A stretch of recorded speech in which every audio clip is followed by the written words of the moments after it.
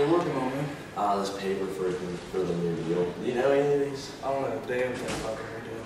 Oh, well, maybe our friend Hank over here might know something about the new deal. Hey, I'm Hank, and I'm gonna talk about the New Deal. Um, we're gonna talk about banking. The banks were closed and everyone lost their money. By 1933, 9,000 banks were closed. Roosevelt pressed the FDIC. It put $5,000 in each bank deposit. I'm Arron. I'm going to talk to you about unsafe stock markets. It occurred on October 29, 1929. Black Tuesday. Everyone lost their stock and money. I'm Wade. The unemployment rate is about 30 to 35 percent. Not a lot of people had their jobs.